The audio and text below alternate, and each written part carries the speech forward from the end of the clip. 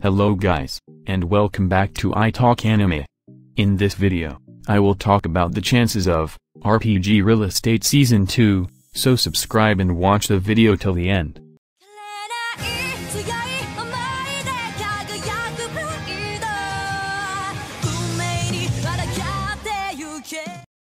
At the time of this video, Studio Doga Kobo or any anime-related company has yet to renew the anime for a second season and there was no official announcement of RPG Real Estate Season 2. The final episode of the first season will be releasing in some time, so they could announce the second season after the final episode. But still, the new seasons of animes depend on some main factors. Main factors such as popularity and manga source material availability.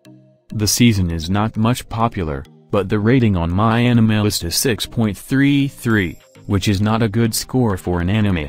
And I think after the final episode the rating may increase but nothing can be said for sure.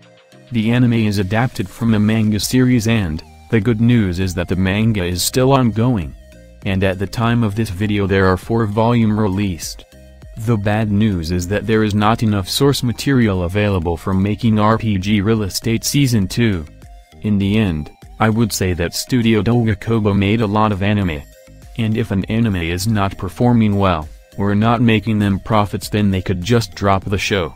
I would say there are 50% chance that the anime will get a second season.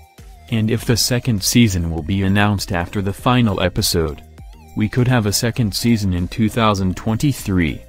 Thanks for watching, and subscribe for more anime news and updates, and I will see you in the next video.